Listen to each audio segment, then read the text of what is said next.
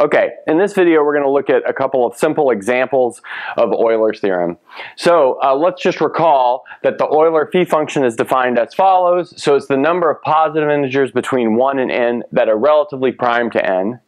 And furthermore, Euler's generalization of Fermat's little theorem says that if the GCD of a and n is 1, then a to the phi of n is congruent to 1 mod n. So um, let's see if we can use that to reduce a couple of numbers modulo n given different values of n. So let's first uh, look at the following.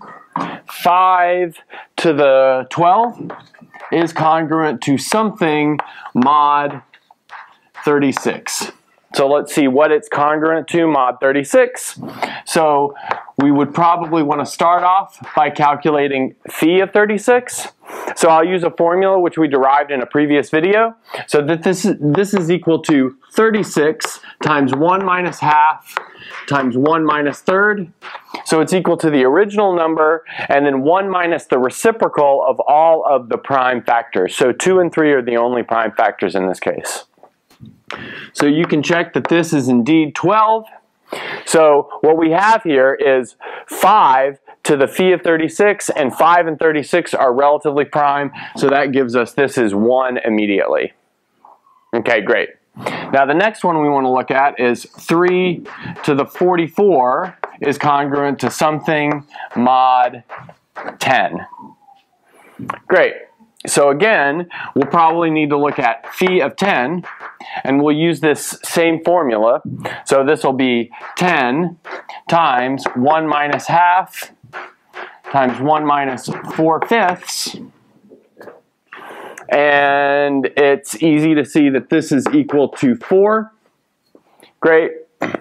Now, we probably want to do this in a couple of steps now. So since this is 4, this is 44. So maybe the best strategy here is to write this as 3 to the 4 to the 11.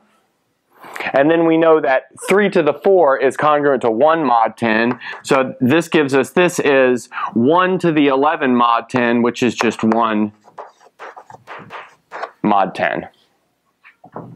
Okay, cool. So let's look at uh, another small example and then we'll look at a bigger example. So let's look at, at 7 to the 30 um, is congruent to something mod 15. Great, so we'll use the fact that phi of 15 is 8. So phi of 15, again, is 15 times 1 minus third times 1 minus fifth, which is 8. And now notice, 8 does not divide into 30, but we can use the division algorithm to break 30 into parts. So here's what we'll use. We'll use 30 equals 24 plus 6. In other words, this is 8 times 3 plus 6. So we use the division algorithm with 30 and 8. Okay, great. So that's going to leave us with 7 to the 8 times 3 plus 6, which is the same thing as 7 cubed to the 8th power times 7 to the 6th mod 15. Great. Now we know that this part is 1, so that means this whole thing is 7 to the 6 mod 15. So what we need to do now is simplify this 7 to the 6. So here's what we can do. We can notice that 7 squared is equal to uh, 49.